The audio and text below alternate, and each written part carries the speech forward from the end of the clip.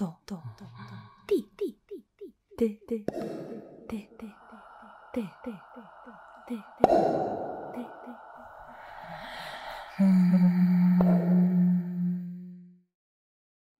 Hi, welcome to the ninth conversation in the Dialogue Danse Actuelle series.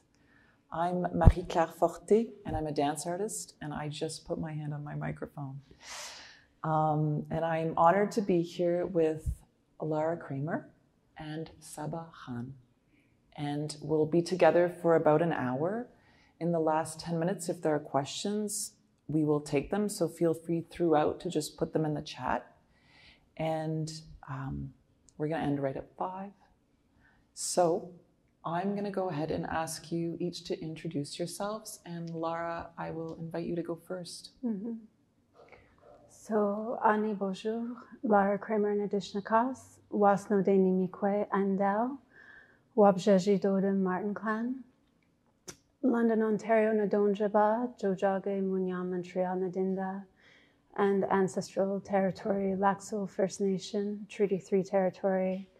Um, I'm also a member of Berens River First Nations. Um, so my mother is uh, Anishinaabe Oji-Cree, and my father is uh, has Mennonite ancestry.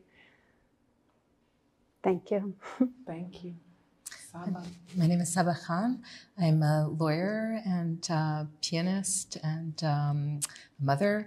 I'm uh, born and raised in Montreal, Tiohtià:ke, which has been a long time known as a meeting place for many Indigenous peoples, including the Haudenosaunee and the Anishinaabe people. Thank you. I'm going to ask you a question to start us off, um, which is Can you each speak about your relationship to your family, both immediate, extended, and also your family through time, in relation to your practice, which you both have multiple practices? Would you like to begin, Sure. So relationship to family. Um, I mean, that's been pretty. Uh, I want to say an anchor within my my practice. Um, I want to say fairly young. Um, uh, my mother's a visual artist, and my father's a musician. So I I was really I want to say in a kind of a ecology of creation as a, at, at a very young age. Um, and you know, my work has always been pretty uh, closely linked to the connection um, on my Anishinaabe roots with um, regards to also the experiences my, my mother went through. Uh, she's a residential school survivor. Um, and so for me, there was a point where my, my work really connected to, um, you know, I often will frame it as saying it's uh, connected to uh, generational knowledge, um, also the impacts of, of the effects of residential schools. So, um, displacement from territory, uh, severing of connections through mother and child. Um, and for me, my practice was a, it felt like, um, in a way, a scaffolding to, to, to further um, process, but, all, you know, in a way I can frame it also as a healing practice, but a, a practice to further, I want to say, like the, the scar tissue from those impacts. Uh, so I didn't always work uh, with my mother, although she, I would say, is a you know big influencer in my practice and my my methodology and my my approach. Um, I'd say more recent years, maybe stemming on the last like eight years. Um, I would often bring her in studio or be in creative processes with her, both um, like in studio or outside. Um, and my children too. I have I have two young children. Um, both have been very much the fabrics of a few of my creations. I've also performed uh, a couple times with my eldest uh, Ruby. Yes. Um, and I think that centering of that the generational work for me. Um, I mean, I think it's. I also view it as like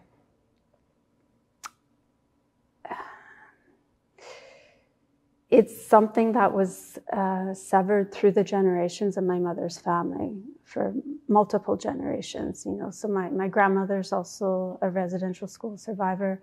And I think um, that connection, um, that generational connection that's so foundational in, in just life and, and living um, in practice and in story and song and in traditions, um, that is something that has been deeply ruptured um, here, you know, as an act of, uh, you know, intent of, of genocide uh, for for many Indigenous uh, bodies, and it's still it's still in our, our living memory.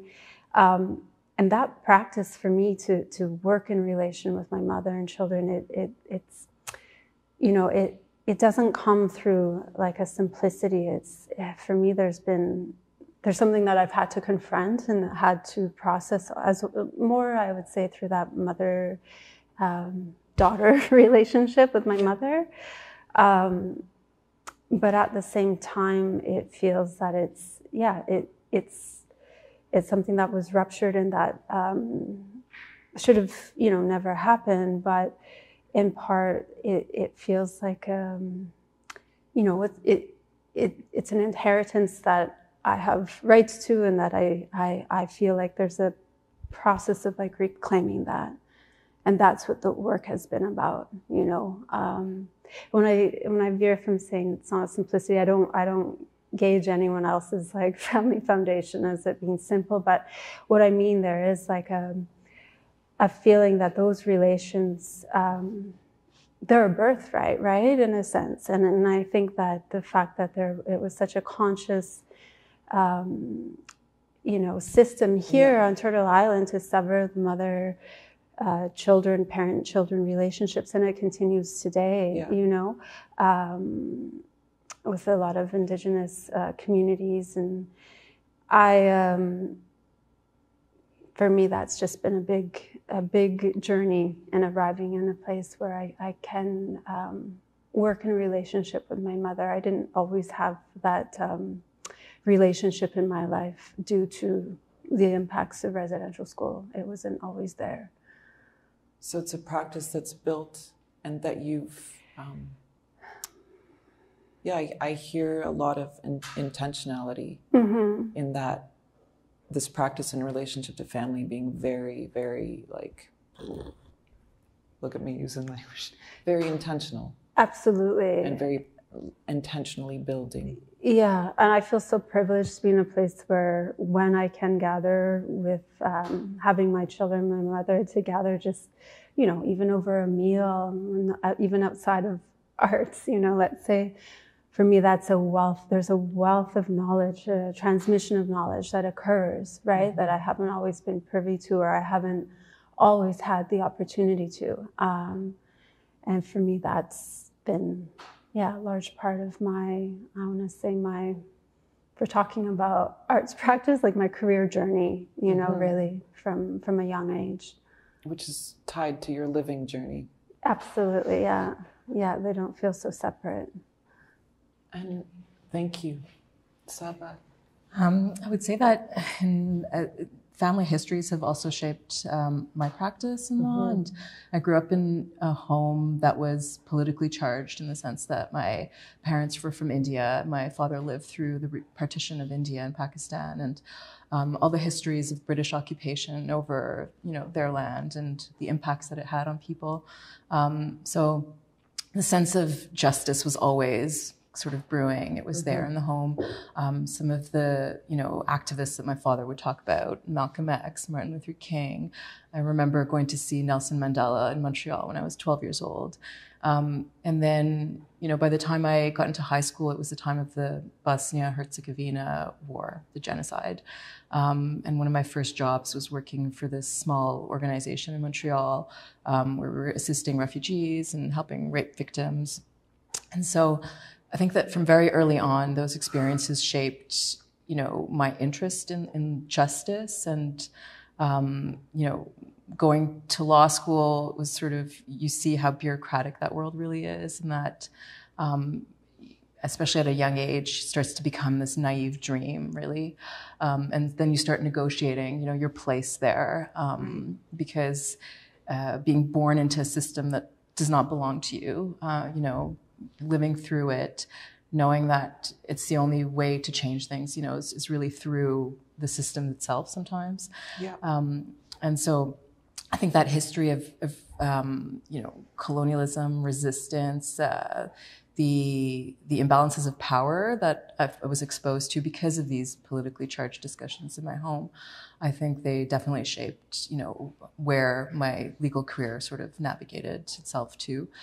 Um, and then I grew up in a home that was chaotic as well. So, um, you know, very sort of extroverts all around. And uh, in that space, I, I sought, you know, my own space sort of, and nature mm-hmm. became um, really a comfort zone for me. Um, the outside spaces, the changing of the seasons. And, and I think that eventually that sort of came into my legal practice as well, um, because as I explored different parts of the law, I realized that you know um, the laws that have to do with nature, the way that we treat nature, those relationships, um, you know, they became it became a prominent uh, area for me. And um, with family, it's interesting because I grew up in a home with scientists that were also very deeply into culture and music. And mm-hmm. um, I was introduced to a space, or sort of born into a space where, um, you know, I, I could and you know could embrace music and art and sport. And you know sort of like there was no um, there was no lawyers in my family for instance. Mm-hmm. and i think as i grew up i never lost that part of myself that identity of you know i'm not just one thing. I can't be categorized but um, you know I, I live and, and, work in multiple contexts and i communicate through different contexts as well it can be musical it can be through law or writing but mm-hmm. it's always um, you know a voice that has a particular you know tone to it let's say um, so i would say that that's the way that childhood has kind of affected my practice and then if i look forward you know to the children that i had or whatnot um, i think that they've um, brought this you know sort of this timelessness uh, introduced it into my life and you know think about the times when you're um, with your baby and you're in a park and you just have no choice but to let go of time. Um, and so I think that the my children have just shaped, you know, the way that I approach my work and mm-hmm. the way I see time and productivity itself. Beautiful. And do you say your would you say your children grew up in a politically charged home as well, or?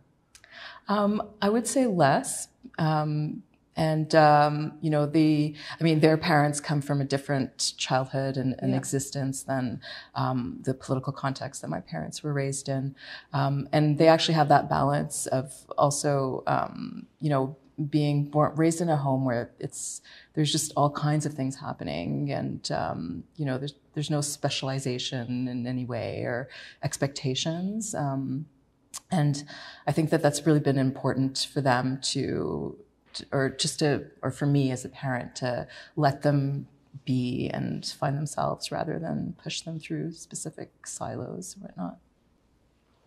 Beautiful. Thank you. Um, can you speak, Lara? I've, I've heard you speak so beautifully about the labor and practice of going back to your community and your land and the trap line, this mm. incredibly voluntary, beautiful intentional relationship to nature mm-hmm. in terms of that land. Mm-hmm. And also, I have a sense of like you probably have a relationship to nature, the nature, like the nature in the city, mm-hmm. as as it exists. So maybe we could, you could both speak about your intentional relationship to nature, and you you talking about it as a as a haven and a place of comfort from uh, from the extroverted charged energy of your family, how, how that plays into your practice and how you, you nurture it. Hmm. sure, start. Um, yeah, so my, I guess, going back to this uh, connection to, um, yeah, I frame it really as like ancestral territory. It's um, so Lac First Nation is the community where my grandmother was born. Um, and we have many, it goes back quite a few generations. Um, and my my first experience as being up there. So my mother wasn't born in the community. Her uh, she, my grandmother, um, following residential school, didn't really replant roots back in the community. She, uh, herself and her sisters ended up migrating um, to uh, Manitoba because it's mm-hmm. close to the Manitoba border. Um, is situated quite far north in Ontario. I guess um, if people know Thunder Bay, it's about four and a half hours north of uh, Thunder Bay. Um, so my grandmother had um, her children um, in the city, um, and many of them uh, went through. Well, all of them went through um, either uh, residential school, foster care. Uh, one auntie was adopted out, um, so they didn't have this um, tie of, of growing up in the community. Mm-hmm. Although I do, there's pictures of my mother being up there quite young with with uh, her mother and grandparents. Um, my great grandfather, Robert Wesley, was chief of the reserve for about 20 years um, and had had a, a, trap line. And he uh, carried and passed that over to, to a, a grandchild. Um, so uh, I, I, we don't always follow these, um, I'll say, like, uh, aunties aren't always aunties. Uh, sometimes they're your cousin or second cousin, yes. but because of age, you just, I think of her as an auntie, but she's my mother's first cousin. And so Lillian, she, she uh, carried on this trap line and lived in the bush and my mother would go and, and visit her, um, when she was a young adult and, and when we were children would go up. So I have these very, um, I want to say clear, like, it's funny. I almost think of like a, a, a sonic and an imagery uh, memory of, of the land, the landscape, because at times we visited in the summer, but in the in the north, like being on the skidoos and being by the ice hole in the bush, like there was something just. Um, you said a sonic memory. Yeah, yeah, like, yeah. Like just the I can, can feel the, the cold. Yeah. I can like I can hear the cold. I can like, you yeah. know, I have this writing piece I wrote about like talking to the fish in the ice hole, you know, and this memory of like dialoguing with them. And my mother kind of, I, I she was such, um, I want to say, um, just, I felt she created space for so much of the imagination to just be, be, uh, like fluid. Like we didn't have a very uh, verbal relationship. We were very much in, my mom was a practicing artist at the time. So, you know, we were always parallel together, working with our hands, creating and the mm-hmm. nonverbal. So these early memories really impacted me. And I guess somewhere, um, probably during my pregnancy with my firstborn, um, I, I, I started dialoguing with my mom saying, you know, I, I want to go back up there, you know, and, just building the contacts, building the resources to be able to do so. And when Ruby uh, was three months old, I, I had my first trip up there as an adult, you know, um, connecting with, with cousins, second cousins, um, yeah, being able to go out in the bush and see like the area of the trap line.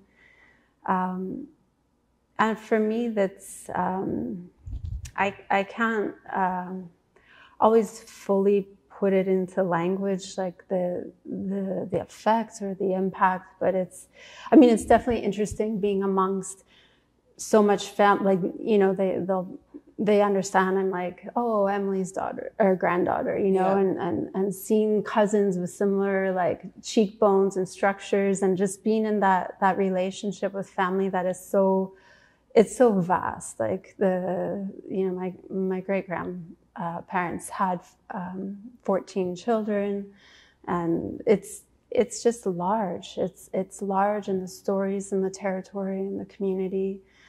Um, so there's a feeling of abundance. There's a feeling of um, I mean, it's not all um, beautiful either. There's some devastating realities as well. Um, but the for me, there's there's yeah, like I guess I say abundance of knowledge to to kind of soak my uh-huh. myself in. And so I've been retor- returning up there uh, as free. You know, I try to go uh, biannually or annually if I can. Um, and yeah, in, in recent years, um, it I you know I got prompted to to get my um, like to, to be on to go on the trap line and be prepared to do that. So that was a whole undertaking i sort of went through last year with um, um, because of regulations of, of you know we were talking early earlier off camera about like policies and what have you but the regulations of trap lines and the way treaty is also set up, there, there's there's a requirements of licensing, right? Although, yes. and it gets into these paradoxes because um, you know even I have even though I have status and we have these so-called rights to treaty, there's still these bureaucratical licensing. So yeah, I went through and got my trapping license, my gun license, my hunting, all these licenses. But it's like yeah, the, these interesting paradoxes for to just arrive at a place for a family to be able to take me out on the land, you know, and, and be in, you know, what is like the oldest land-based practice here on Turtle Island, you know, and it's, um, I think for me, the, the desire for that was, um, yeah, it's going back into this like experiential learning and, and the, the transmission of knowledge that is, just gone through uh, so many generations. Um, I mean, it's also political too. It's it's a way to exercise treaty, uh, not just treaty rights, but treaty responsibility. Mm-hmm. Yeah, it's beautiful as you're talking. You're there's no separation between the nature and your family. Like they're they keep folding into each other mm. because they're not, of course, separate. Like you know we in the in the title of this conversation was this prompt about recontextualizing the humans in their environment but it's like that we are of it it is of us and it's quite interesting as i'm listening to you seeing you um, weave those two without um, separating them. Yeah. And um, you were saying i don't always have the language and you're doing this vibration and i'm wondering because you work in international law and you were talking about doing this litigation and doing these processes to give people the tools to implement policies or to change things and how that how how you how did you flow from like nature to lang- like law being such a language being such a fundamental like the authority in law like mm-hmm. from this you being with the seasons to you being like yeah, um, it's interesting because language is the heart of law, and um, it can be so easily manipulated. And uh, I think you know the art of lawyers is also to take language and use it the way that they want to, in that uh, respect. So I find that um, there's language is really a tactic when it comes to to legal thinking and um, and um, it's funny because when I went from justice, my first, you know, as, as a child, like this preoccupation with justice, um, my first entry into law was uh, working uh, in labor law. So on union side uh, files. And I was in Geneva. Uh, I was assisting this committee that would get complaints from plantation workers in South America or whatnot. So it was all labor rights. And gradually from there, um, you know, I started to realize as you grow into the, I guess, into your lawyerliness or what you call mm-hmm. it um, that that exploitation of humans is like fundamentally based on the exploitation of nature that mm-hmm. um, you know if we think about all these commodity chains and you know people who are being um, enslaved through forced labor modern slavery which is also on the rise you know um, that all of that is really based on also extracting from nature mm-hmm. and um, then you know from there i think it just slowly sort of like shed all interest in other fields of law and um, just trying to figure out what is environment you know it's inside the law and how can we change it um, you know we're living in a context in canada which we've got so many reports from the truth and reconciliation commission we've got so many reports also from UN bodies talking about the environmental racism faced by Indigenous peoples here. Um, and yet, the way that environment is treated in the law, it's, it's, it's an object, right? To be possessed or it's property. It's, it's not a relation, which is something that I've learned through a lot of different Indigenous elders that I've got to work with. Um, there's uh, the elder Gwich'in, elder Sarah James from Arctic Village, Alaska. Um, you know, she's done, she's been fighting pipelines in the Arctic Refuge for the last like decades. Mm-hmm. Um, and her fight continues. And just hearing her talk about law or the way that she, you know, that storytelling, um, it's such a different way of speaking about law or sharing law than mm-hmm. what you see in UN conferences or, you know, colonial systems that we live in. Mm-hmm. Um, and so that just fascinates me. And um, recently I've gotten to do a lot of work on these legal evolutions happening where um, we were talking before about the rights of corporations, right? Um, which translate into French as moral persons. And, um, you know, nature, though, has no voice in, in the law typically. And now we're seeing this new movement towards the rights of nature where, you know, rivers can speak for themselves or mm-hmm. uh, different landscapes. And for me, that's fascinating because I think that's the only way that we can, you know, we talk about decolonizing, um, but do we really understand how to? Do we understand what that looks like and what it means when it comes to changing those like fundamental principles that are underneath our law and, and sort of like, um, you know, play a huge role in, in what we can or can't do, like the regulations you're talking about, you know? Mm-hmm. Um, These licenses and, for you to be. Mm-hmm. Yeah. Like, mm-hmm. yeah, sorry. Yeah, and just to say, like, that's what I find that's very, you know, it's uh, it's interesting. Like, it's really always the discrete zoning laws and things that go imperceived that have a huge control on everyone's lives. And for me, seeing the law in the landscape like that, um, seeing how oppressive it has been, like, mm-hmm. you know, t- up till now, and the potential for change, I think that's really what draws me to um, to practicing environmental law and and thinking about how we can bring it to like a new a new um, a new era. Right. I just I had a moment. But I was one of the places I grew up in in Hull, where when we moved, the mayor who was in the mafia, and this was, it's I'm not spilling beans. It's it's uh, public knowledge, but changed the zoning so that houses could be built where it was previously a park, but it was very much like this person was just able to change and I was like, but shouldn't shouldn't there be another when I learned of this, I remember thinking like, is that all it takes? Like I've got enough power to to work the language to do this license that will then allow all of these things without consulting any like there's no these how the law doesn't have built in accountability. It's mm-hmm. really an abstract thing. And then how to build relationality, I think, is a really exciting. Like, if a river has rights, then what are, how will we relate to it differently? Mm-hmm. It's quite a beautiful, a beautiful path to trouble the system. Um, I'm gonna check. What supports you in in nourishing your relationships to nature or maybe i can ask because you both live in montreal actually before is what what is your relationship to nature in the city i know i'm like as as though you're one person um, well I, I enjoyed a walk, walking basically and um, also um, you know, I grew up doing karate and I used to be on a Canadian team. And so oh. I have um, and my Jap- my karate style is called Wadokai, which is the way of harmony.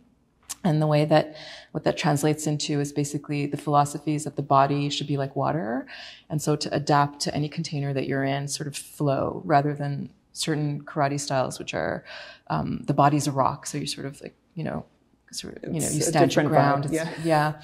And so it's something I have to say that, you know, walking or even doing my karate practice like now, it's, um, it feels that there is, you know, part of like nature is a part of that too.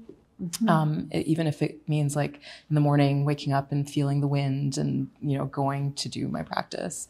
Um, but I feel that um, yeah, it's just the I think walking in the parks and um, just uh, I guess toning down that that time is the way that I would that I feel the city. Uh-huh. Hmm.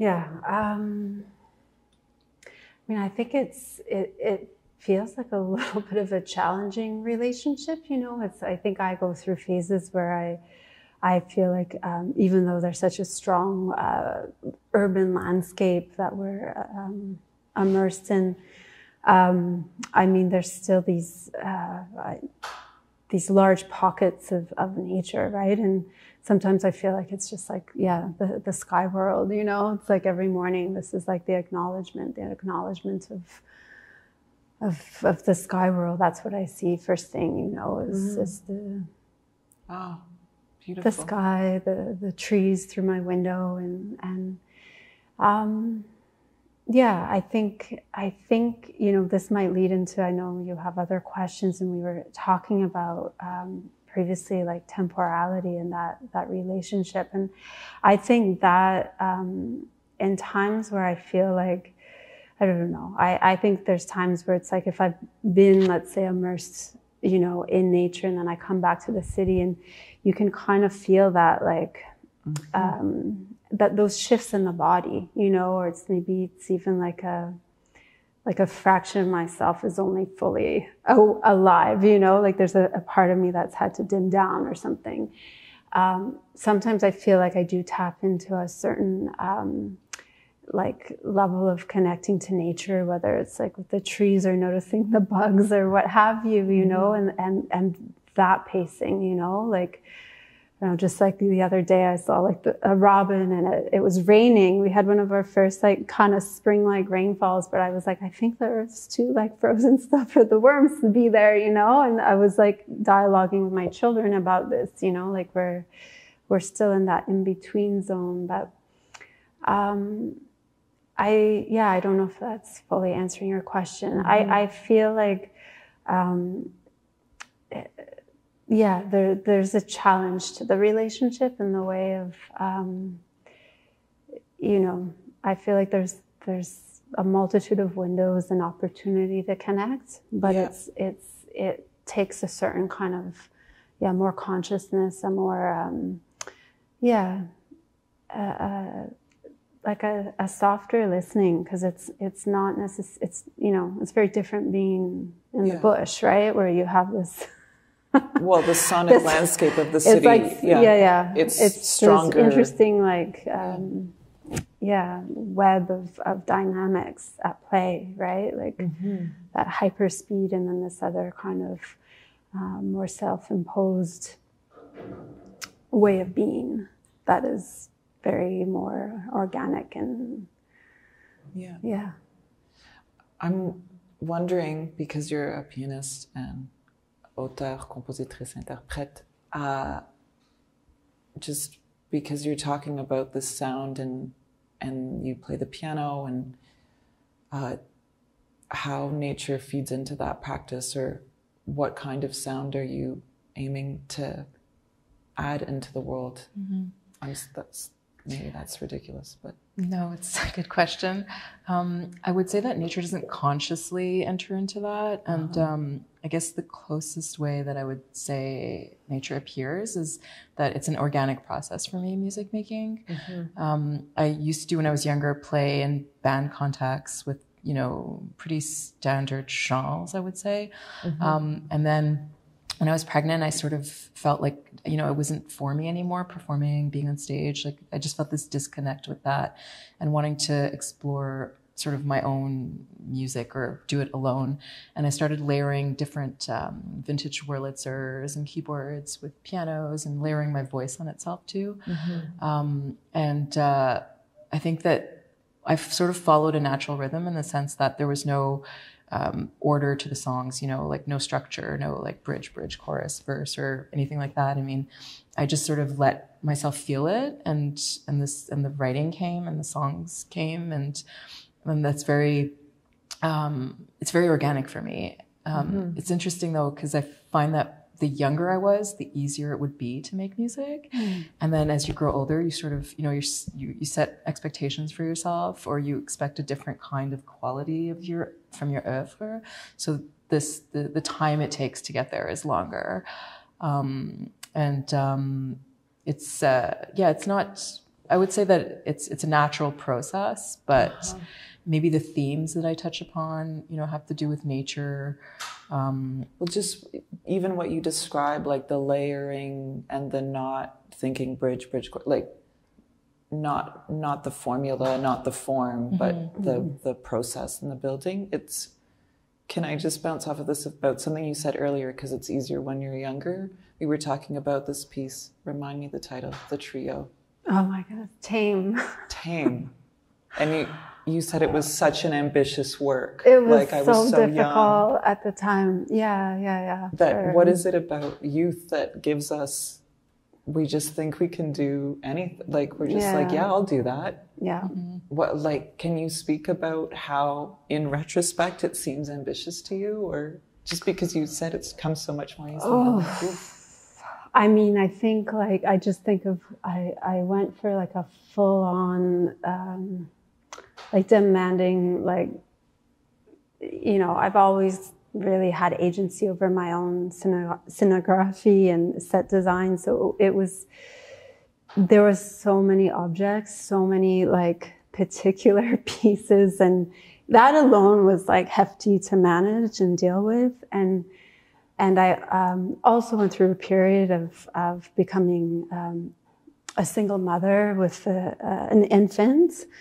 So in my personal life, it was like there was so much, you know, going on. Happening, like yeah. I can't say shit here, but you know, i think you can it's it, there was so much going on there but it was like i had like this i don't know it was like this big push to to go somewhere so different theatrically than what my i felt my previous works had had been and um you know i didn't i didn't want to i mean that i think you know i say it's difficult but part of my you know my creative processes were you know and on a very personal level have also been like my through line of like mental health right? Like for so many years you know it's been it and and sometimes more than others. So i think for me it was like um it was something as my you know personal life was very much dealing with a lot of turmoil um, i had this focus um, you know and uh, i guess i just was like i'm gonna just keep going with this you know even if it's like i think at times it felt like the collapse of it was like there but in a way i just i also felt accepting of that like you know we need to fail at what we do and not i don't know if failure is the right thing but like um just a, and i and i think i trust so much um creative process as like it's in some ways you can say it's lived experience. So the life with inside of it even if there's mishaps or things are collapsing um, that generates something in the in the body and the psyche and the expression and it's all part of the memory bank right? It's all part of it.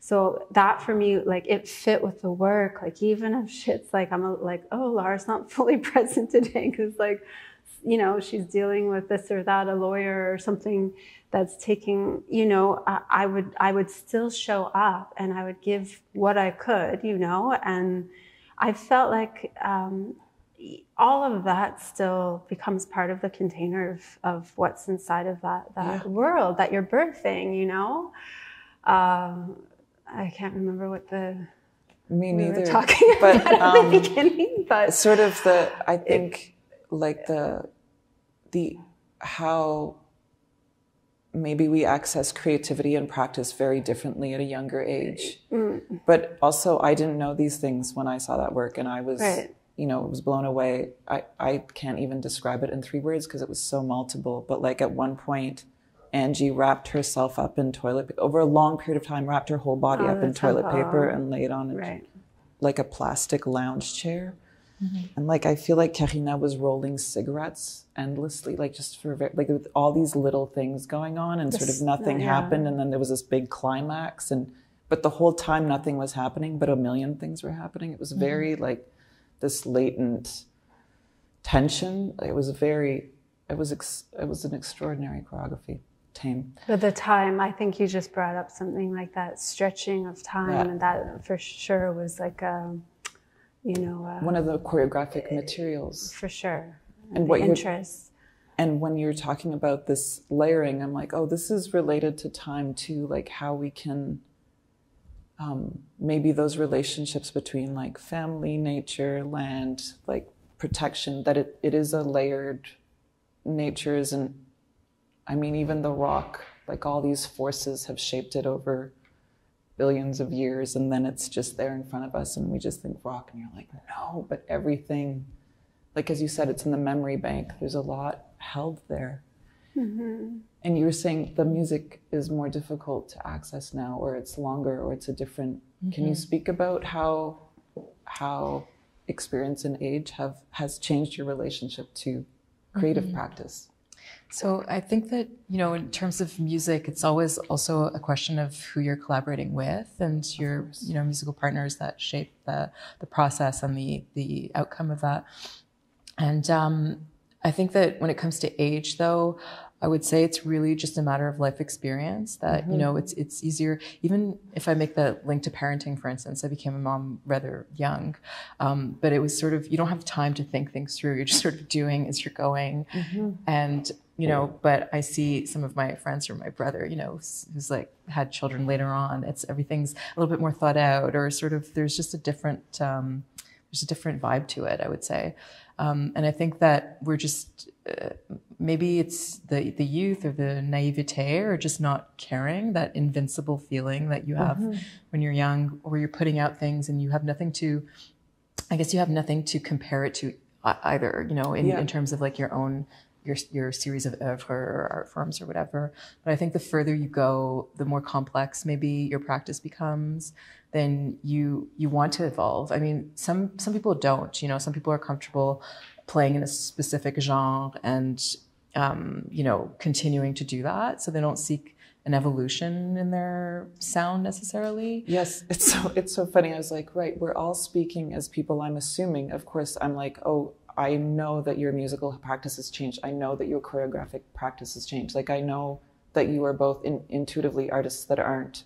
You didn't find a groove and then you're like, I'm gonna produce more of that because I know it works. Exactly. But I mean, a lot of the industry is like that and Well, does that. And so for me, like knowing that I can't do that, I wasn't interested in doing that. And so it was, a, ch- you know, a challenge to myself. And, um, and, and but also this is linked to productivity i think like i think that you know when you're when you call yourself an artist you think okay you should be doing art all the time and then there's this stress that comes with it with you know um, like being comfortable with empty time that incubation period where you know you'll have come out with something and then knowing that you can give yourself like months years if you need to just sort of re you know um, or i guess recalibrate your yourself with you know in your experience with your your art form. I think that's a big part of it. And that's something that i've only learned i think now. And you know it could also be like as we're coming out of the pandemic like everything has changed right time and what, it, what is the meaning of work and productivity and um, and I think that that whole like experience uh, really shifted my own understanding of like what I expect for myself and what I want to do or the artifacts that I want to bring into the world. And you know, now I really think of of uh, like spending my time as that, like as in you know uh, the the meaningfulness or like the significance of the artifacts that I want to bring in, whether it be a legal piece or writing or whether it be a song or you know a collage. Um, but i think it's that like just that like where yeah I, I mean it helps me to think about you know existential threats like working in climate change. It's you know you can't ignore the fact that like this is the critical decade for action. And then trying to process that you know um, and find out how you can create meaning out of that and um, so that's been very special to me just like thinking about um, you know the, the billions of years that earth has existed and you know, what can we draw out from that history and um, what can we leave as part of that history? Yes.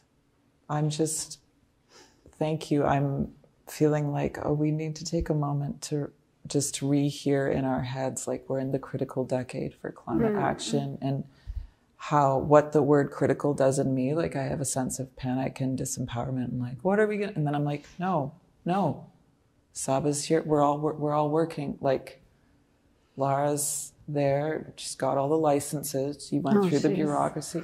Not to put pressure, but that, um, yeah, this this sense of like, what do we want to leave? What are the traces? But also, what is the history, and how, and um, like what I'm hearing about you speak about this process when uh, your firstborn was an infant, it's like you, in it, you were learning that your presence, no matter how complete or incomplete, was exactly what you could offer to the moment. Mm-hmm. And how what you're describing, this intentionality around what it is you produce, it has to do with this like, what is the quality of presence that I can give to this as opposed to what am I going to produce? Um, I need to think, and I'm a slow thinker.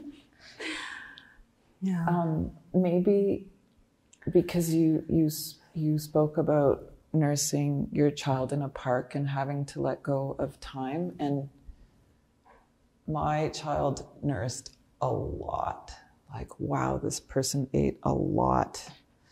And I, I do remember this feeling of like, there is nothing else like there's nothing else I can be doing at this time and feeling like that was the biggest blessing of of some kind like this te- like this mm-hmm. radical other like like you think you need to but like no mm-hmm. you have to release and also the the privilege of mm-hmm. of having having that time and we spoke about this briefly before but how uh, being mothers maybe changed your relationship to time or speed or duration mm-hmm. or, or process. Mm-hmm. And you even mm-hmm. speak about like you connecting to your mother when you were pregnant. Like, what is it about? Um, is there something about that, your relationship to time that you continue to foster in this way, or was it just a change and now it's now it's one thing, or is it is it changing as the midlife is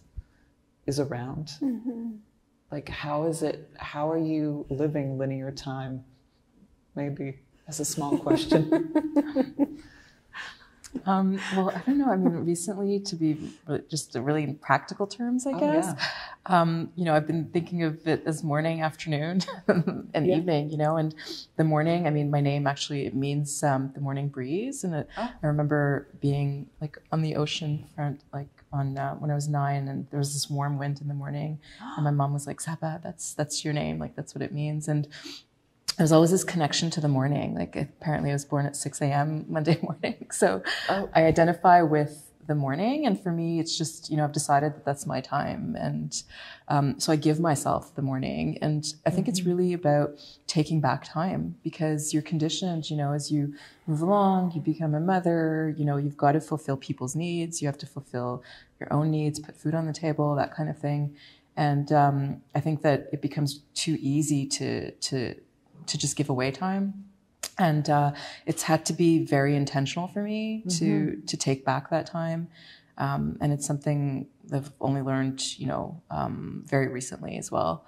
Um, but um, it's yeah it's really important for me to to have my mornings and to decide that you know like that's not part of the linear time that i'm willing to give the rest of the world. Mm-hmm. beautiful mm-hmm. Yeah, it makes me think. I mean, for sure, my uh, approach and, and, way of working, um, while that that extend that extension of of my my children within my universe, and then that expanding, um, you know, to older generations, generations that aren't here, you know, and I I think of future generations as well. Um, was just thinking too how um, I mean not not just I feel like arts practice um, that I've engaged in, um, like through my like certain visual work, you know, with, with like beading or or that's a lot more time based, um, or or really anchored in a sense of duration.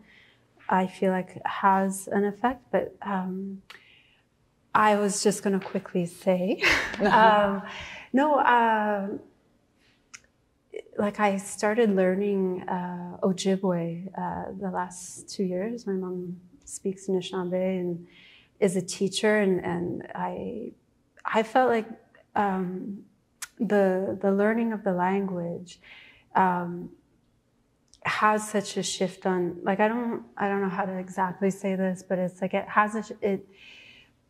Uh, like the culture is embedded in the language, right? And the, the, the Anishinaabe um, just way of being is there in, in, in its relationality to all things, to place, to.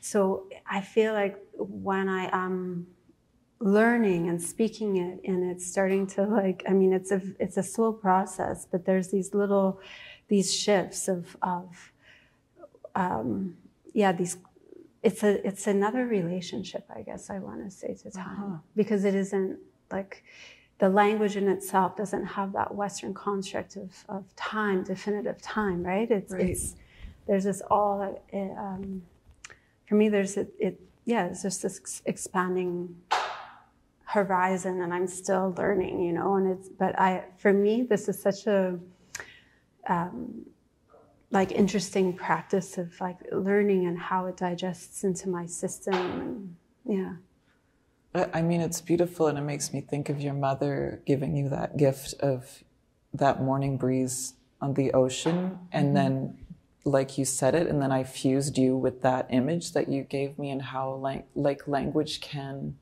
Uh, I mean, it, I find it fails us in so many ways, but then also it's such it's such a huge connector, and it it can mm-hmm. open those po- perceptual portals to include more and more and more and more and more and more. Mm-hmm. And then to so that those those separations of things that like you were mentioning like that lawyers can essentially build out of lang- they can build nothing out of language and then collaborate onto systems and then people are like what's happening and you're like oh it's this language somebody made but that if it becomes re reattached to the human then it it reattaches to the world, it reattaches, and it can be generative in that way. Maybe uh, just as we're getting towards the end of our time together, you can name like a sustaining force for your practice in relationship to nature, or in relationship to time, or in relationship to your family. Another small question. Oh like what what is what is feeding you? Um, I think that you know, as sustaining forces, I I feel that I'm held by this, um, you know, amazing like family that I'm a part of, and and I feel that um, like an extension of something, you know, is, is and I think that sustains my um, like I know, um, or maybe it's just motherhood or you know that responsibility towards others i think that's what really sustains me whether it be people i work with or make music with or you know my children.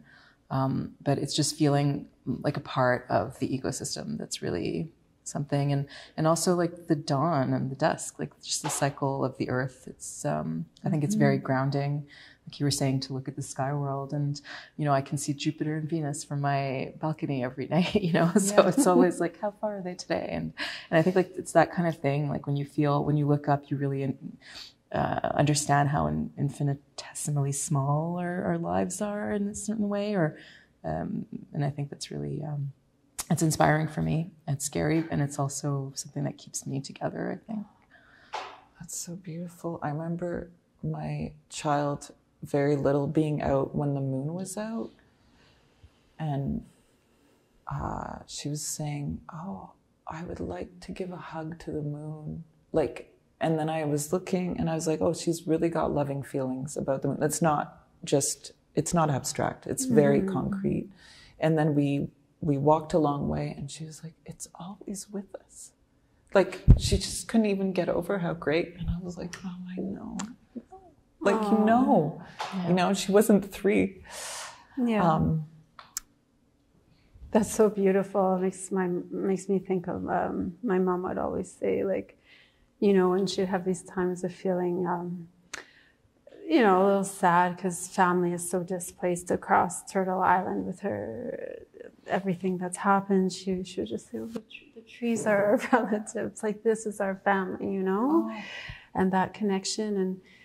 I don't know. For me, the yeah, I guess what sustains me is very similar. I think I think it's those um, relations around where, I mean, in a lot of ways, I feel so fortunate. Like I have these anchors, you know. I think um, the responsibility of, of mothering and, and then being a daughter and community member, like they, there's there's something that I feel. Uh, yeah, there's just like a strong anchor, and I think that is. Um, I feel and have gratitude for that. Yeah, that's so. I I love hearing you. I love hearing you. I I think there's a lot of talk about like how tiring it is to be a parent, and I'm like, but it's so much. like it's so sustaining. It is mm-hmm. sustaining to be responsible to someone. It is resp- like it is Yeah. sustaining to me to have parents and Right. family and a community that I am like holding and held by mm-hmm. That it, relationships are not a burden they're a, a privilege in a way. And that a lot of forces are about like a lot of cultural forces are about severing these relationships that are sustaining. So it's it's quite beautiful to hear you articulate that. Were you going to sorry were you going to say something? No. I misread the body language. Um, I don't have anything edifying to ask or add. Um, maybe just one.